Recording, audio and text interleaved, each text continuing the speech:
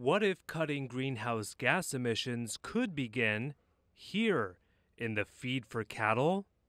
Farmer John Verwey, owner of Johan Dairy in Fresno, two years ago began experimenting with Swiss made feed additives. He was looking to improve his milk output while decreasing methane emissions.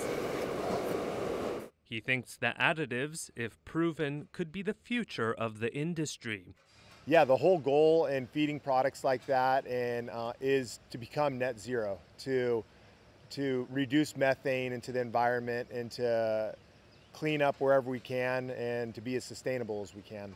Gassy cows are a global issue. Livestock emit 14.5% of the world's greenhouse gases.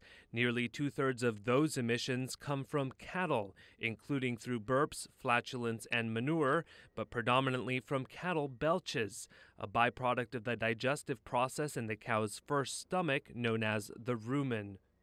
In an effort to cut down on the belching, Verwey began feeding his cattle Agolin, made of coriander, clove, and carrot extracts, and replaced costlier additives that promoted weight gain. Major food companies are stepping into the space as well, including Nestle, which has partnered with Agolin.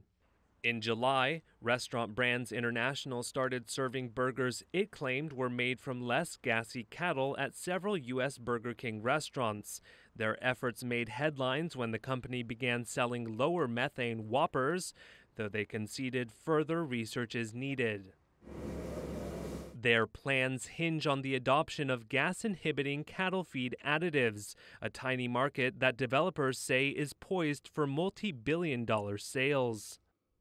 Frank Mitloehner is a professor of animal science at the University of California, Davis. And when a major player like Burger King or McDonald's or so, when they push the supply chain, things actually happen.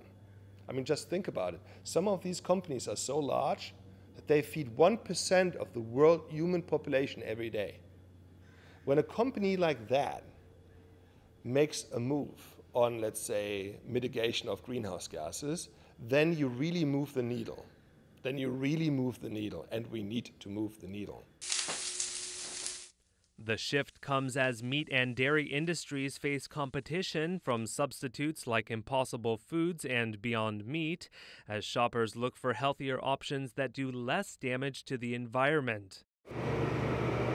Meanwhile, Verwey is still experimenting. While he tests the Agolin feed, he's also working on greening other aspects of his business including manure.